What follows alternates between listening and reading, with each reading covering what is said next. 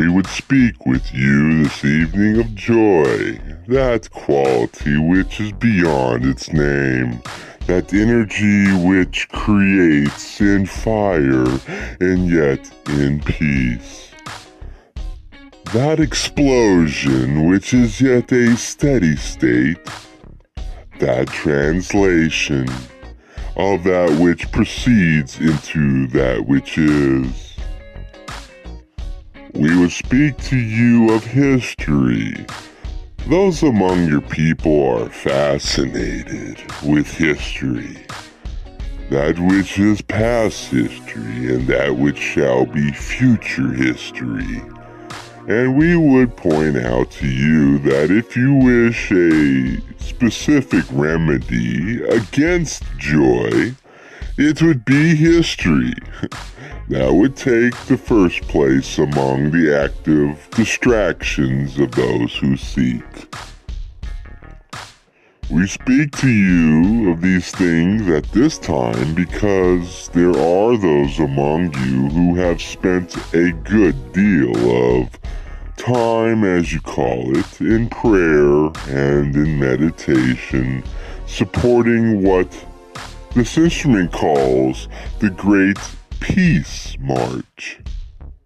We would like to point out to you that the ideal involved is a part of joy, and that the history of that effort is not.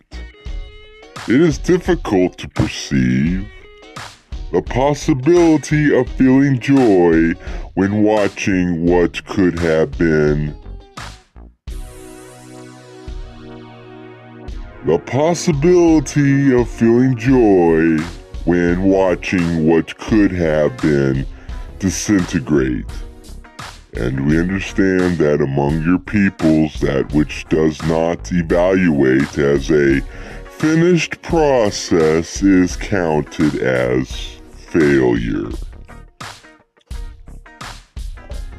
Success and failure belong to that outward portion of yourselves, which belong to history. The discipline of joy is the discipline of remaining outside of time, or to speak more precisely, within that womb from which time issues and towards which it shall once again be drawn in the great rhythm of the cosmos. To remove oneself, to remove oneself from processes is to remove oneself from all of those things which seem real. To remove oneself from processes is to remove oneself from all those things which seem real.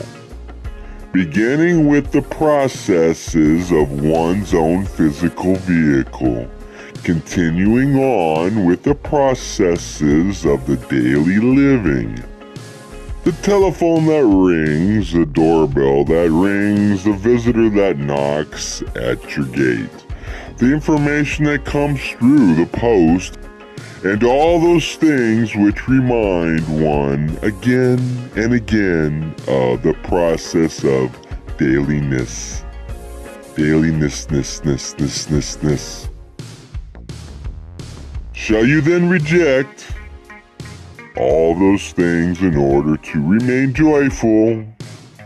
We suggest to you that there is a portion of you which should do just that in order to achieve something which you may wish to nurture, and that is the sense of humor. the light touch, the feeling of being seated within love and its expression, joy and laughter, regardless of outward circumstances. Processes, as all things which partake of time, begin and end, are successful or fail, and yet consciousness is variably affected by these processes. May we suggest to you that by reserving a portion of yourself to be centered within that great womb of time where joy holds sway, one can experience differently the processes of living within the illusion which you now enjoy and from which you shall learn as you continue,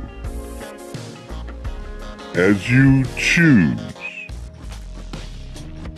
May we suggest to you that by reserving a portion of yourself to be centered within that great womb of time, where joy holds sway, one can experience differently the processes of living within the illusion which you now enjoy. May we suggest to you that by reserving a portion of yourself to be centered within that great womb of time where joy holds sway. One can experience differently the processes of living within the illusion which you now enjoy, and from which you shall learn as you choose to learn, slowly or more rapidly inefficiently or more efficiently. The more one throws the whole self into that which may be called petty, the more one allows oneself to worry and be concerned over seeming failures. The more one robs oneself of the opportunities for transformation. And yet, transformation is what you have come to choose to do. It seems that that which is new becomes old, but we say to you to consider whether it is not one's interest that becomes old. When one perceives things from the standpoint of joy, nothing can escape the illumination which love brings.